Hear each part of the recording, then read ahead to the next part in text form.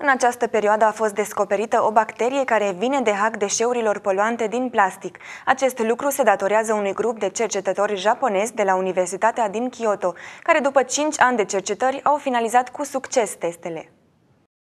Cercetătorii cred că această bacterie, botezată Ideonella sacaiensis, poate fi importantă pentru procesul de reciclare a materialelor plastice. Bacteria este capabilă să descompună petul, materialul plastic cel mai comun și cel mai rezistent, utilizat la o amplă gamă de produse, de la sticle până la haine. Tele de laborator arată că bacteria poate distruge aproape în întregime, în interval de 6 săptămâni, o peliculă subțire din pet, aflat la 30 de grade Celsius, potrivit actual Maramureș Mureș.ro. În contact cu apa, bacteria generează o enzimă care ulterior provoacă o reacție chimică ce descompune plasticul. Fundația specializată pe energii regenerabile arată că există riscul ca în anul 2050 în apele oceanului planetar să fie mai multe materiale plastice decât pește, situație care ar afecta grav viața submarină. Conform unui studiu elaborat de această organizație, în doar câțiva ani, în apele oceanelor și mărilor se va acumula o cantitate de 8 milioane de tone de plastic. Cercetătorii au explicat că la fiecare 60 de secunde în ape ajunge o cantitate de mase plastice echivalentă cu încărcătura unui camion de gabarit mare. În 2014, în Oceanul Planetar, erau deja peste 269.000 de tone de mase plastice. Peste 30 de ani vom naviga printre deșeuri plastice, avertizează coordonatorul studiului.